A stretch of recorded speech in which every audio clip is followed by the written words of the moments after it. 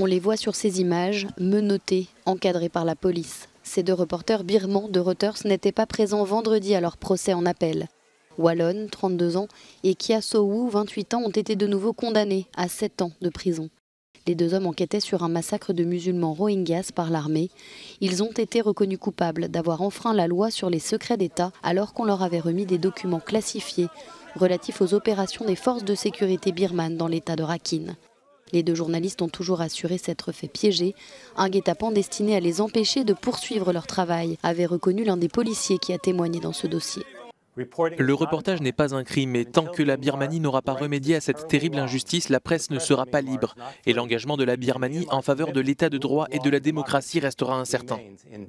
Le gouvernement birman est resté mutique pendant cette affaire, invoquant l'indépendance de la justice. Leur défense peut désormais se pourvoir devant la Cour suprême.